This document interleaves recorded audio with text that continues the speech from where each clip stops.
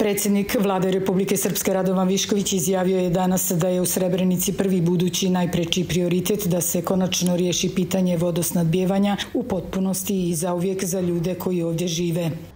Ali ništa manje nije važno i to se mora raditi kao što je uradio Bratunac sa bunarima koji se bušili pored Drine, pa onda ispumpavanje na neku,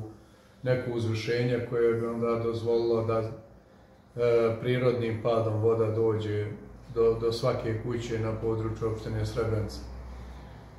Oni će već krenuti u izradu projektno-tehničke dokumentacije za taj projekat i on će svakako u budućem periodu biti jedan od prvih prioriteta.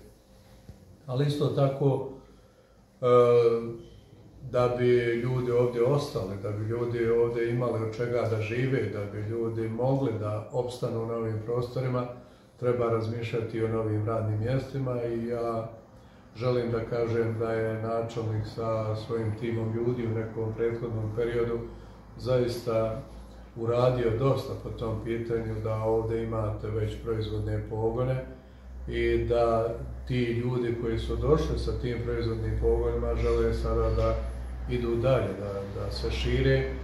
i opština je sagradila jedan proizvodni objekat i on će biti ovih dana, da kažem, u suštini ustupljen jednom od tih investitora koji želi da proširi svoje proizvodnje. Višković je rekao da je investitor iz Srbije zainteresovan za fabriku prerade krompira na području Srebrenice koja je sagrađena, ali sada ne radi. Višković je rekao da se očekuje da sistem za navodnjavanje u Skelanima gdje je uloženo nekoliko miliona konvertibilnih maraka već od naredne godine kad krene poljoprivredna proizvodnja bude u punom kapacitetu. Uvažavajući činjenicu klimatskih promjena vidite da skoro i ozbiljnija poljoprivredna proizvodnja nije moguća ako nemate sisteme za navodnjavanje, dodao je Višković.